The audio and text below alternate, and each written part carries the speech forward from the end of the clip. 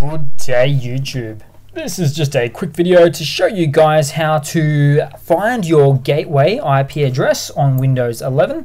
So what you do need to do is actually go to a uh, your, your start menu there and type in CMD. It'll bring up the command prompt, click on that one there, and then basically you're typing in the following. So IP config here we go. And then you'll see something here that mentions your uh, default gateway. So there it is, 10.2.2.2.